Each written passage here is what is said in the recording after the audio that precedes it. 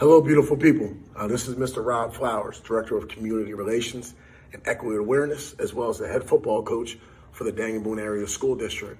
I've been asked to speak today about anti-racism and some issues we have going on in our society right now.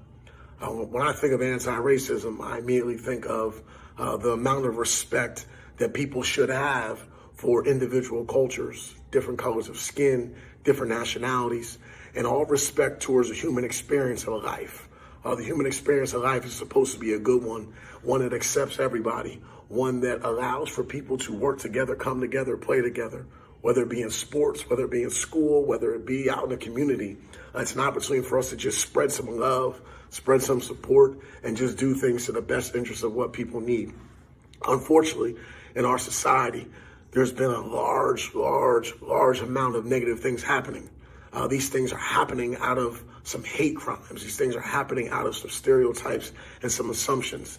Uh, I encourage us all to take a minute and sit back and see what we can do to help stop these things from going on.